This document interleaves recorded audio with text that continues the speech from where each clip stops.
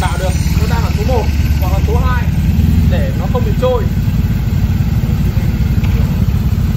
Đầu tiên là kéo hết tay lái về phía người mình này. Số 1 rồi anh ơi, số 1 rồi. Đây là hướng dẫn cách đi xe khi xe đổ. Đó, số 1 rồi. Đầu tiên là phải tắt máy. Tiếp theo là về số 1 hoặc số 2 về tư thế tay chân. Hai tay kéo sát gần này. Chân.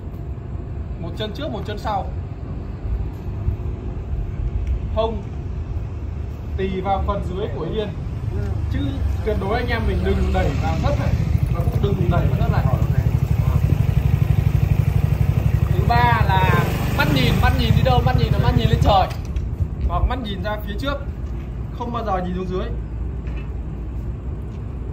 Khi đẩy thì dùng dùng lực gì? Dùng lực của đùi.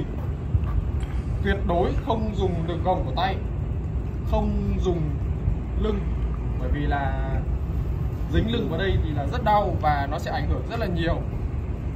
Rồi. Mọi người chú ý chân nhá. Một chân trước một chân sau xong rồi chúng ta sẽ đẩy bằng lực chân. Đến chưa? một hai mắt này ba bốn năm. Có đà lạnh nắng lửa cho Gạt chân uh, Gạt chống chân. xuống. xong. Ok, Còn hoàn bên thành kia thì chúng ta sẽ phải gạt chân chống trước. Sau đó thì tha hồ mà đẩy. Xong rồi đến đến 7 đây là đến đến 5 thôi. Đến đến 7 một hai ba bốn. Có chân lại trượt này trượt này có chân lại. Trượt rồi. Lực và đùi. không phải nhìn thấy nhìn tay cao. Đẩy đùi. Dùng lực đùi, dùng lực tay thế đẩy chân vuông ra tỏ quy cũng cũng yếu. rồi mắt nhìn gì Ông nó phải có có sức một tí. không mày không đủ lực Tập gym tập được. nhá.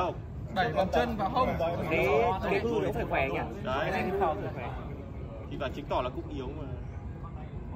chân kìa chân kìa đẩy bằng chân này đẩy bằng chân này rồi, chưa nhá.